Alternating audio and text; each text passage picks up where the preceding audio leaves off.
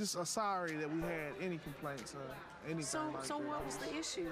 Well, you know, they were talking about the music um, and saying that some of the music that we were playing was inappropriate, was inappropriate to be played for in, church. in church. And I'm trying to reach a generation that's not coming to church normally. Absolutely.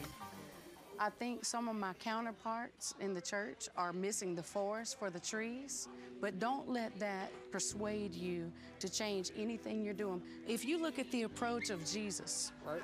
when he spoke to Peter, he spoke in the language of a fisherman. You were speaking somebody's language tonight that nobody else is speaking. I like that. So you got to be free to be who God has called you to be.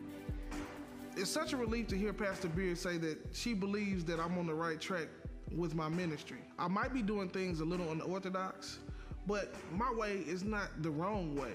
I mean, my view is different from your view. And I really feel like it's gonna still reach the people. Feels really good to hear because I just we just don't want to offend anybody. No, we no. don't want to offend if, anybody. if people are offended, the offense is within them. Right.